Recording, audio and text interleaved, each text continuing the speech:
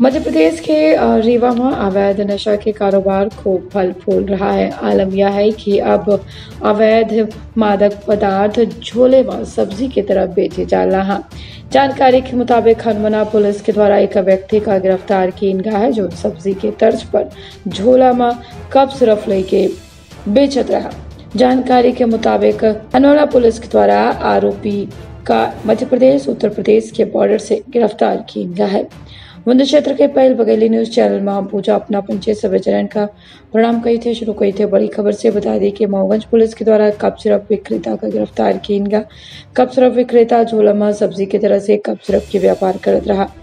आरोपी के पास से कप सिरप जब्त करके पुलिस के द्वारा आपराधिक प्रकरण पंजीबद्ध कैलीन गया।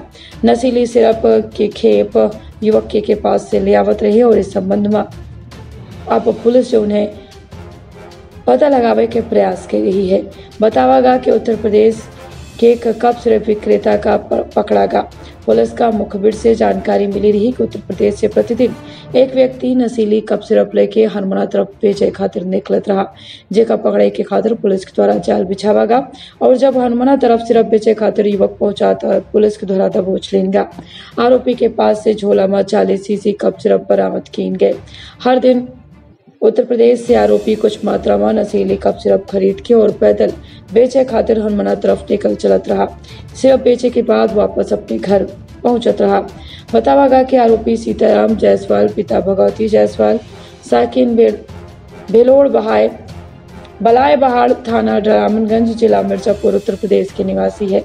आरोपी के खिलाफ एनडीपीएस एक्ट के तहत आपराधिक प्रकरण कायम करके पुलिस के द्वारा पूरे मामले का जाँच होने जानकारी के मुताबिक, आरोपी का उत्तर प्रदेश के एक सप्लायर नशीली सिरप बेचे के खातिर देत रहा, जेका प्रतिदिन लेके युवक हरमना विक्रय करे खातिर पहुंचत रहा। थाना प्रभारी राजेश पटेल के मुताबिक, सप्लायर के संबंध में पता करे के प्रयास की जाला हद जल्दी सप्लायर के खिलाफ खिलाए बड़ी कार्रवाई की जाये सजग रही, सतर्क रही रखिए आपन और अपने परिवार के बहुत ख्याल। दे इजाज़त। का अपना संतान के सुख से वंचित है। बहिने संपर्क करी विंध्य क्षेत्र के विख्यात पहल टेस्ट ट्यूब बेबी सेंटर से। महिला से संबंधित कोनो गंभीर समस्या के खातिर संपर्क करी प्रतिदिन। पुराना तीर्थ मेमोरियल अस्पताल खुटेही रीवा।